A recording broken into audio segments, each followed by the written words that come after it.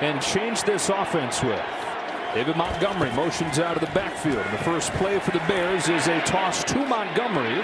Made the first man miss, made another miss, and got nine. We figure a matter of time before he gets going. Second and six. Here comes Fields. Design run. Justin Fields first down.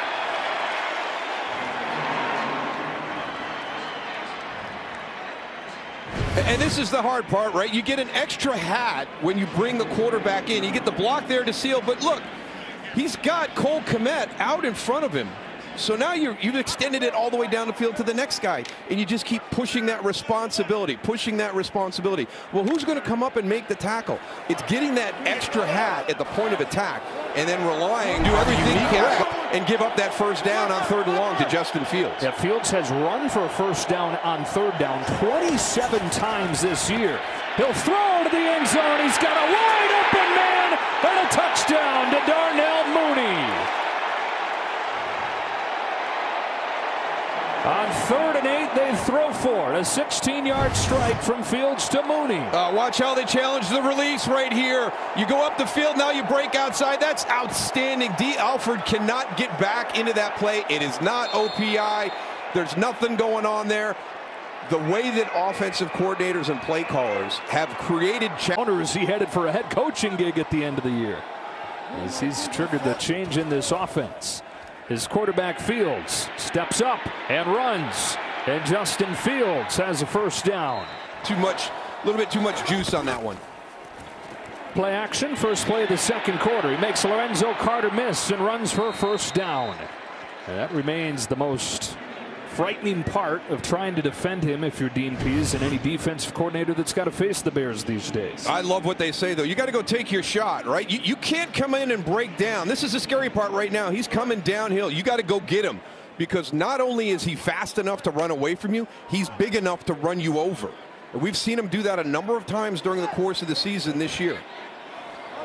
You knocked a line. Swings out. Fields over the middle. Cole Kmet. One hand block. what a catch by Kmet. Who is this guy? Justin Jefferson? No, Cole Kmet. 26 yards. Brilliant. Not only a one-handed catch, but watch A.J. Terrell come off his guy and contact him in the middle of the one-hand catch. Cole Kmet, who's got five touchdowns this year, all coming over the last three games. He's been the biggest beneficiary of this passing game getting down in this second quarter. Fields has St. Brown and he's got a first down. Equanimeous St. Brown, who's been mostly involved in the running game as a blocker, will continue to ride the wave of Justin Fields, but to some wins. He's got the ball with blockers ahead, and he's got a touchdown. Untouched into the end zone.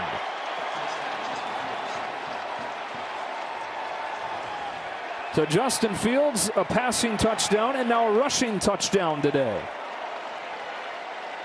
And again, it's just that it's 11 on 11. And, you know, you get great blocking on the edge, and, and it's really challenging.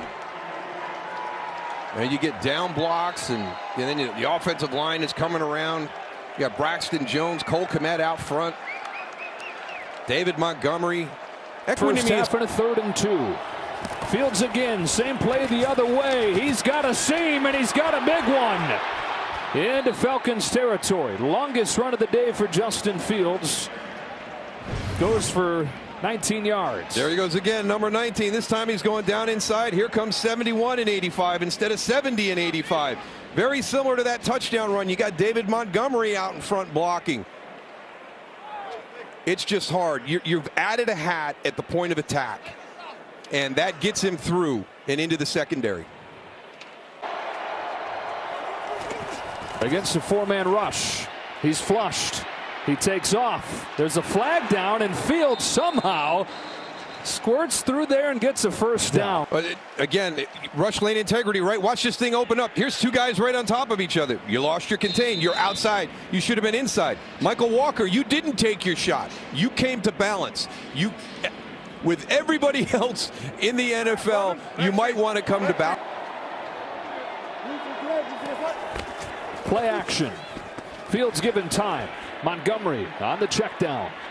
David Montgomery lowers the shoulder, and boy, he's gotten a bunch after cut. Finds Claypool and has a first down. Second catch for Chase Claypool, just settled open underneath, and the drive continues. Fake to Montgomery. Throw for Kmet. First down for the Bears as he's bumped out by Terrell. And, and your, your body is going to get worn down.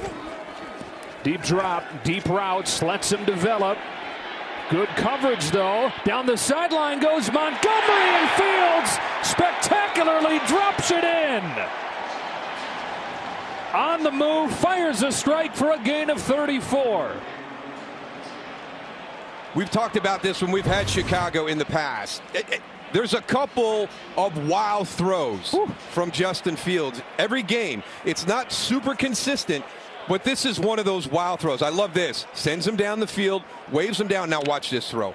I mean, that is tight coverage by Lorenzo Carter. That is a perfectly. Last two games, they've called 22 pass plays in the fourth quarter, and he's thrown for 40 yards on those 22 plays. Third and long here. He'll look to throw. He's given time. Fields scrambles, keeps it alive. Magic from Fields. Justin Fields finds St. Brown. First down, like only Justin Fields can do. we're going to have to put the tracker on him on this one. He had a, a one-yard touchdown run and traveled about 34 yards. He may have he may have outdone that one on this pass play. You know, there's something there, Joe, because he does not want to take off and run. You know, he, he's feeling his way through it. You know, right there, a normal Justin Fields, he's out, and he's going to have Equanimeous St. Brown as a blocker in front of him. So, yeah, there's something going on where he's electing not to run, and he's using the guys around him to help him get through.